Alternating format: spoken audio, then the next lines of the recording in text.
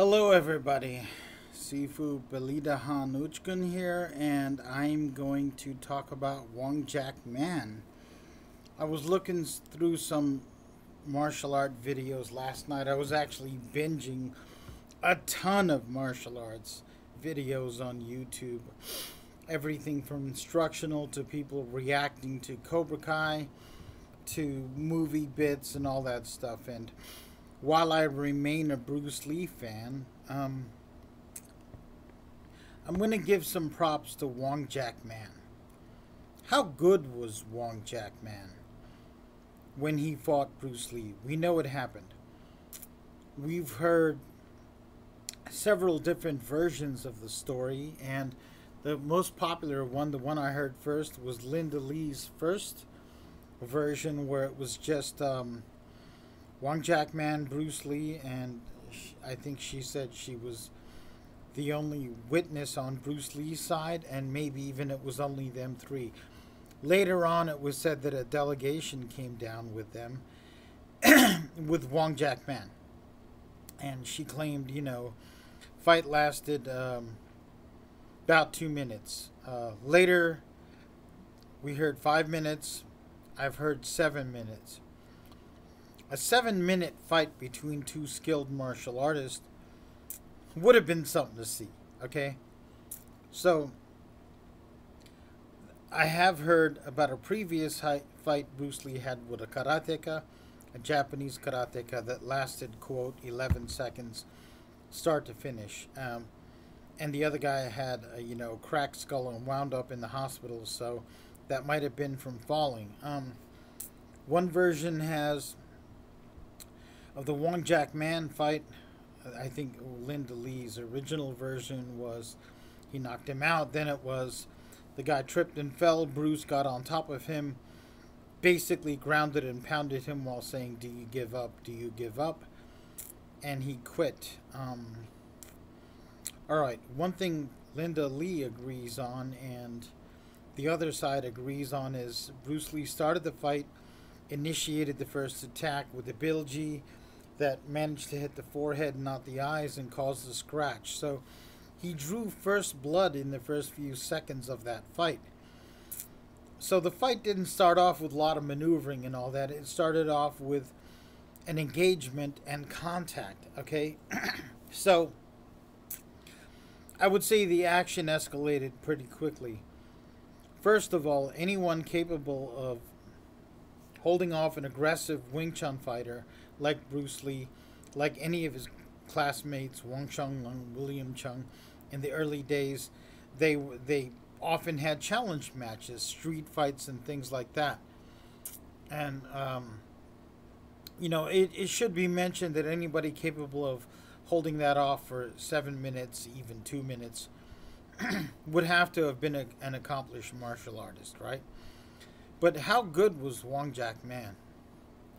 Here's what I can tell you. Good enough to hold someone off from two to seven minutes. I'm voting for five just for the happy medium, but I think there's a strong case for seven. strong enough that Bruce Lee, who basically prided himself as a Wing Chun stylist and said, Wing Chun is uber superior. I just need to add a little, bit of this and a little bit of that. Um, Good enough that after that fight, Bruce said, I'm no longer doing Wing Chun, I'm creating my own style. Good enough that Bruce Lee changed his diet for the rest of his life afterwards. Good enough that he adopted many different conditioning regimens, running, weightlifting, things like that. Good enough that he began to talk about how not just other Chinese martial arts were deficient or useless he never finished Wing Chun or a complete Chinese system. Bear that in mind. I don't think he was right about that. But he started saying Wing Chun was an incomplete system. Um,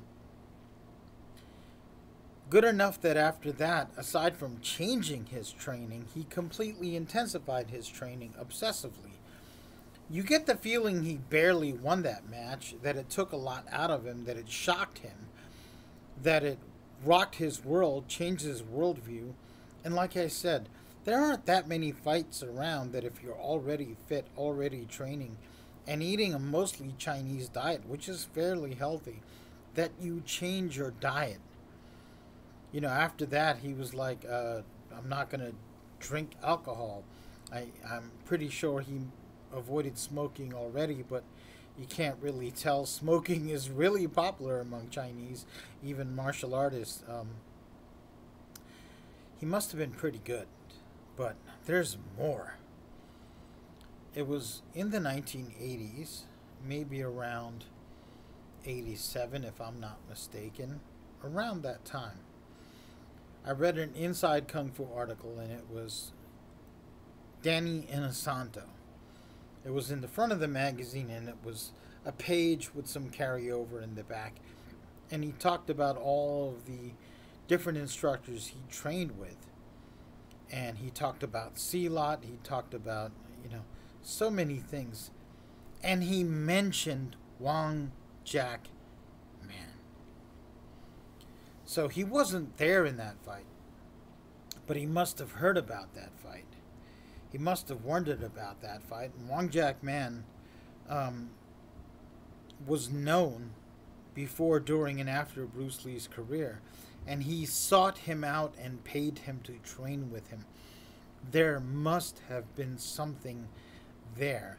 And I want to take it a little, a little bit further. After the fight, Bruce Lee changed everything, added things, subtracted things, became an obsessive fitness buff, and you know learned things like boxing and got into. Jhoon Rhee taught him uh, some taekwondo and things like that, and um, became a different person on a pretty much a different path. Wong Jack Man, after that fight, continued to teach in Chinatown, continued to flourish and prosper. He had started off as a waiter, and he became a a professional paid martial arts instructor. Now, I don't know if he did it full time as his only job, but he maintained his teaching from the mid 60s I, I believe until the late 90s or 2000s. I've got to brush up on his obituary. I'm assuming he's dead. But he prospered and flourished, and Chinese and non Chinese alike flooded to his studio over time. Otherwise, it would have closed. And then when he died, his students, um, I've seen stuff from his students praising him, eulogizing him uh, putting forth his side. So that doesn't seem like someone who was soundly beaten in public. I mean, to get all of that despite being labeled as the guy Bruce Lee beat, and he didn't change his name, there must be something there. So, Wong Jack Man, I'm giving you your due. Um, you were obviously a skilled martial artist, skilled enough to spur a young man, he was about your age, who was also starting his career to not stay on the path he was, but absolutely transform the path he was and become a legend, okay? And I'm not talking about the ridiculous but incredibly fun Birth of the Dragon movie, which I'll admit I love that movie.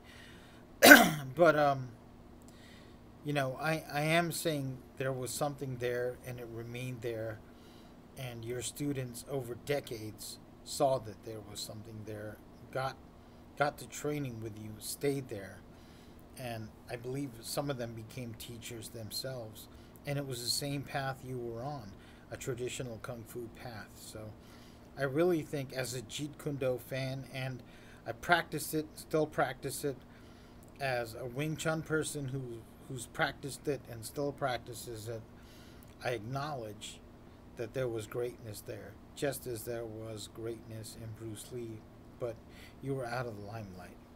Thank you, and have a good day.